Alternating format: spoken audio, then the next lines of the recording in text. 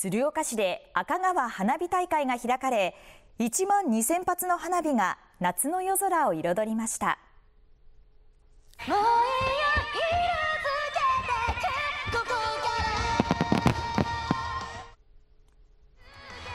今年のテーマは進化感動と希望を未来に紡ぐ。人気の楽曲に合わせて表現するミュージックスターマインや人気映画とコラボした幻想的な花火など1万2000発が打ち上げられました。初めて来たんですけどすごい感動してます。気持ちが明るくなりますねやっぱり